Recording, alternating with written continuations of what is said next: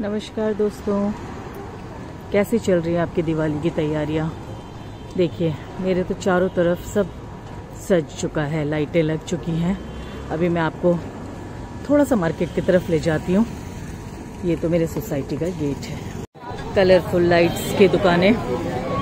और इस बार दोस्तों, सच बताऊँ, क्योंकि दो साल के बाद ढंग से लोग दिवाली मनाने जा रहे हैं तो दुकानों में काफ़ी भीड़ है और काफ़ी बिक्री भी हो रही है। इसे कहते हैं रंगोली। और ये देखिए डिफरेंट कलर्स मिठाइयों की दुकानें सच गई हैं क्योंकि अंदर बहुत भीड़ हो जाती है इसलिए बाहर ही डेकोरेट कर देते हैं ताकि आप मिठाइयाँ खरीद लें। कहते हैं दिवाली में झाड़ू खरीदा जाता है तो आज मैं भी खरीदूँगी। भैया झाड़ू कितने का है? भैया झाड़ू कितने का सर? हाँ एटी? ओके एक दे दीजिए। धन, आज धनतेरस भी है तो। हाँ जी? नहीं नहीं, ये वाली ठीक है। तो मैंने धनतेरस के लिए ये लिया है और स्टील खरीदा जाता है आज के दिन कोई भी एक बर्तन। अब आप इसको पैक कर दीजिए। पैक कर दीजिएगा। सो इस तरह से दुकानें सज जाती हैं दोस्तों और आपकी चॉइस होती है, आप कुछ भी ले सकते हैं। दोस्तों, ये है हमारे मुख्य देवी देवता दिवाली के है ना? लक्ष्मी और गणेश जी है ना? क्या कहना चाहेंगे आप इनके बारे में? हम इनके बारे में यही कहें कि बहुत यानी परिपूर्ण है और इनकी आदर सम्मान करते हैं हम लोग। जी। और इन्हीं के बदौलत हम लोग यानी आगे हैं। अयोध्या का देख रहे हैं इस बार कितना बढ़िया हो रहा वही है बात है ना? है ना? हाँ तो आप तो बहुत ही पुण्य का काम कर रहे हैं है ना? किया जाए आप सभी लोगों की सेवा में हम है। बिल्कुल इसीलिए ना हाँ, हाँ भगवान किसी न किसी को अपना हाँ वो बनाते हैं हाँ, हाँ, आधार। है ना? तो बनाते हैं कि भाई उस रास्ते को यानी आप परिपूर्ण कीजिए। बिल्कुल बिल्कुल। तो दोस्तों मैंने आपसे कौन सा लिया है? आ, ये लक्ष्मी गणेश क्योंकि मुझे तो जाना है ससुराल। तो मैं यहाँ छोटे से अपने बैठा कर स्थापित करके जाऊँगी। दे करके आप जी जी जी है ना? तो खुशी हमेशा मिलता रहे। जी और आपका आशीर्वाद भी मिलता रहे ना? दोस्तों कहते हैं ना जहाँ चाह वहाँ रहा। काटिए आप काटिए। सो इस बार मेरी इच्छा हुई कि मैं घर पे लक्ष्मी बना के जाऊँ। वैसे तो ससुराल जाऊँगी तो देखिए मुझे बहुत आसानी से गन्ना भी मिल गया। और अब बनेगी मेरी खूबसूरत लक्ष्मी माँ। हाँ तो दे दो ना पाव भर पाव भर ज़्यादा तो नहीं आएगा, देखो जरा कितना आ रहा है। हाँ कर दो। ये है मेन हमारा हील और बताशे। तो नमस्कार दोस्तों, अभी आप मेरे साथ मार्केट में थे और हम खूब सारा दिवाली का सामान ले रहे थे। एक्चुअली दोस्तों, क्या है कि जब से शादी हुई है तो दिवाली जो है ना, हम लोगों को ससुराल में ही सेलिब्रेट करनी होती है। हर जगह से हम जितने भी कजन्स जो हैं, पूरे ऑल ओवर इंडिया में जगह जगहों पे जाके जॉब करते हैं। लेकिन हमारा ये वादा रहता है कि हम दिवाली के दिन अपने ससुराल, यानी कि लड़के अपने घर और बहुएँ जो हैं अपने ससुराल में आती हैं और बहुत ही धूमधाम के साथ एक पारिवारिक सम्मेलन टाइप होता है। इतनी प्यारी, खूबसूरत पूजा होती है जिसके ब्लॉग्स अब आपको आगे देखने को मिलेंगे, क्योंकि कल सुबह मैं चली जाऊँगी अपने ससुराल। पर दोस्तों, हर बार मुझे ना एक चीज़ का अफसोस होता था कि मैं इस घर को, जो मेरा अपना घर है, उसको मैं ना कहीं ना कहीं सूना करके चली जाती हूँ। और इस बार पता नहीं क्यों, कैसे खुद ऐसा लग रहा है माँ लक्ष्मी मुझे आदेश दे रही है, गणेश जी मुझे आदेश दे रहे हैं कि इस घर को भी जगमग करके जाओ। तो मैं अपना जो हमारे पहाड़ी तरीका होता है दिवाली में लक्ष्मी माँ को और गणेश जी को यहाँ पे लाने का, वो करने जा रही हूँ। तो देखिए इसमें क्या क्या हम लाते हैं। ये तीन गन्ने हैं, इनसे बनेगी मेरी लक्ष्मी। कैसे बनेगी वो मैं अभी आपके सामने ही दिखाऊँगी। और ये है मेरी लक्ष्मी माँ, दोस्तों। और ये लक्ष्मी गणेश जी की मूर्ति, जो बाद में हम विसर्जित कर देंगे। फूल मालाएँ, इनके बिना तो कोई पूजा संभव ही नहीं है। थोड़े से गहने कोशिश करूँगी कि उन्हें सजा पाऊँ, और ये पिछौड़ा जिनसे मैं उन्हें उनको ढकाऊँगी, उनको उनको उनको कवर करूँगी।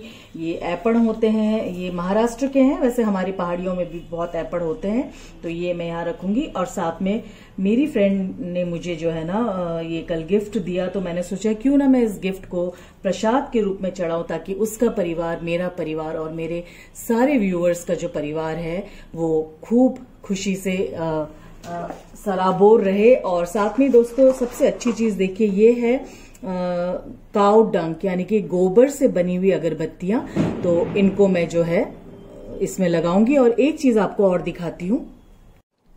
और जो सबसे मैं इम्पोर्टेंट चीज़ कैसे भूल गई दोस्तों? ये क्या है? ये है मिट्टी के दिए। और इनके बिना तो दिवाली संभव है ही नहीं। हमारे देश के कुम्हारों को हम प्रमोट भी करते हैं और ये बहुत शुद्ध माना जाता है क्योंकि ये मिट्टी है। मिट्टी जहाँ से हम आए हैं और जहाँ हमें फाइनली चले जाना है। तो दोस्तों, ये गन्ना है और इसको ना हम ट्राइंगल शेप अभी हमने किया है इसका। और इसको हम अभी फ़िलहाल बांधेंगे। तो दोस्तों, मेरी लक्ष्मी माँ पधार चुकी है। देखिए, कितना स्माइलिंग फेस है, एक शर्माती दुल्हन जैसी। और इन्होंने अच्छे से अपना श्रृंगार कर लिया है। और अंदर अगर मैं आपको ले जाऊँ तो यहाँ पे लक्ष्मी गणेश जी विराजमान हैं। फल, मेवा और फूल, पत्ते, धूप, बत्ती सब कुछ है। बस, अब एक शुरुआत होगी। पूजा की तो आइए आप भी मेरे साथ पार्टिसिपेट करिए। आप भी मेरे साथ पूजा करिए।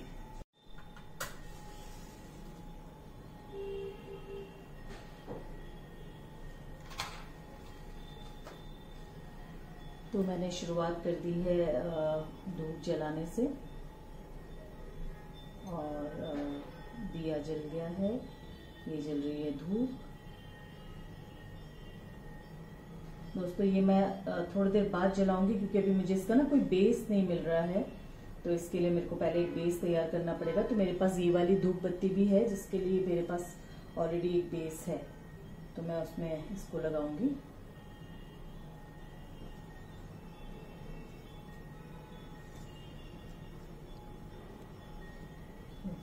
गंगा जल में ऑलरेडी छिड़क चुकी हूँ भगवान जी को। और अब ये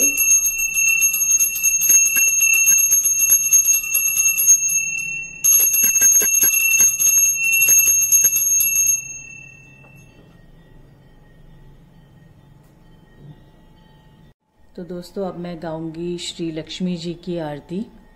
जय लक्ष्मी माता, जय जय लक्ष्मी माता। तुमको निस दिन सेवत, हरि विष्णु विधाता। ओम जय लक्ष्मी माता, ब्रह्माणी रुद्राणी कमला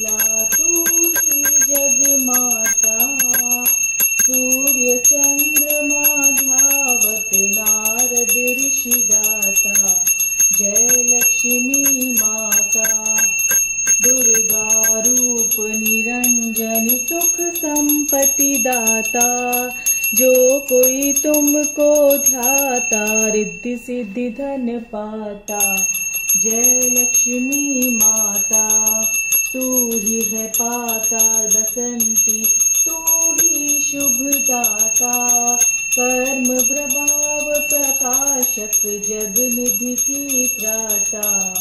जय लक्ष्मी माता, जिस घर थारो वासा तामे गुण आता। कर सके सोई कर ले, मन नहीं भड़काता।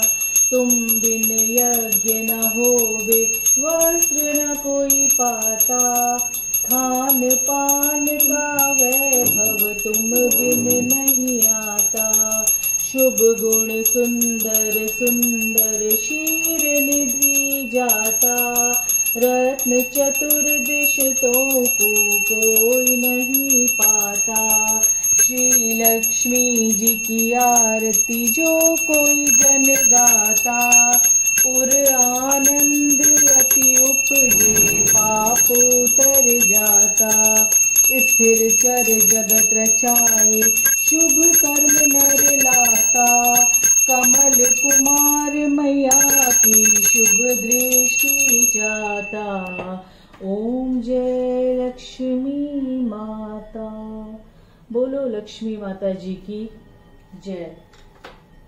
तो दर्शकों आशा करती हूँ आपको आ, हमारे कुमाऊनियों का उत्तराखंडियों का लक्ष्मी जी को विराजित करने का तरीका अच्छा लगा होगा और कैसे हम पूजा करते हैं। और ये मैंने अपने घर में किया है, यानी कि जहाँ मैं रहती हूँ मेट्रो सिटी में। लेकिन अब इसके बाद जो है हम हल्द्वानी जा रहे हैं और हल्द्वानी में हम कैसे पूरे परिवार के साथ दिवाली मनाते हैं, वो सब आपको दिखाऊँगी। मिलते हैं जल्दी नए ब्लॉग के साथ। तब तक के लिए नमस्कार।